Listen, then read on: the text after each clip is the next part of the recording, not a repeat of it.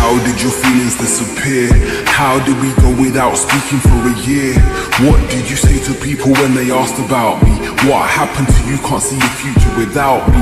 When did you plan to give up on what we had? When was the last time we held each other's hands? Why did you make a promise you didn't plan to keep? Why did you say things that you didn't mean? Why, why waste my time? Why, why all the lies? Why did I lower my standards and compromise?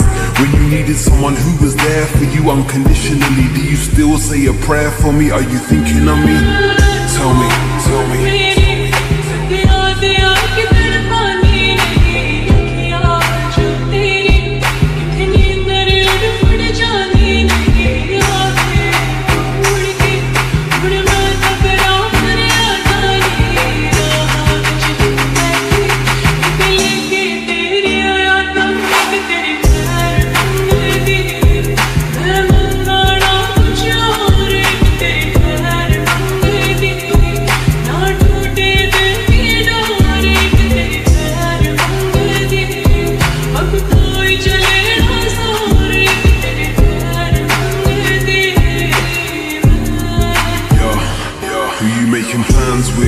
You going out with? Who'd you FaceTime when you're picking out your outfits? Who was in the right and who was in the wrong though? Writing paragraphs when I should've written songs though. Where was your mind at? Thinking I could ever be replaced?